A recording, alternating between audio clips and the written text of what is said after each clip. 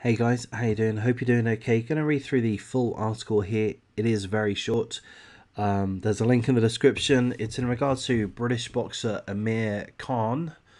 Amir Khan. He was robbed uh, at gunpoint by two men. This happened in East London last night. So I believe Monday evening. Yes, Monday evening.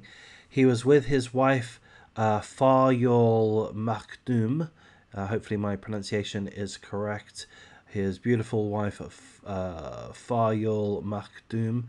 Um, so he was in an area in Leyton in East London, and uh, all of a sudden, uh, some guy came up to him. Well, two guys came up to him, or rather, yeah, came up to him, uh, pointed a gun at his head, and they took his watch. So he had a luxury, expensive watch. We don't know the specific details or the specific value, but it was a valuable watch uh, taken off of him at gunpoint.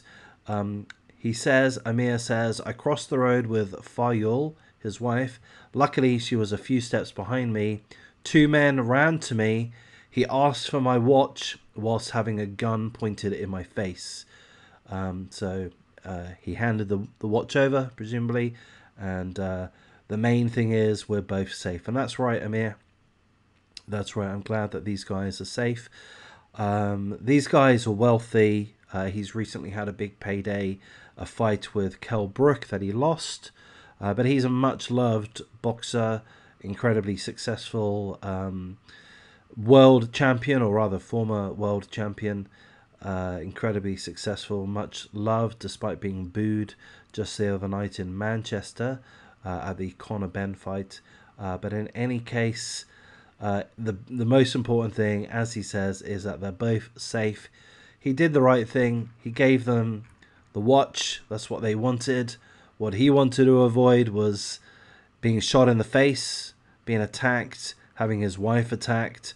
So he did the right thing. It's unfortunate, but uh, um, it's one of those things, and uh, thankfully they both walked away safely. So there's that article. The reason why I've covered this article is because I am a fan of boxing, and I did watch the Amir Khan fight with Kell Brook, um, and I've learned a little bit about Amir Khan. I've watched a number of interviews with him over the last couple of months. Seems like a an interesting guy.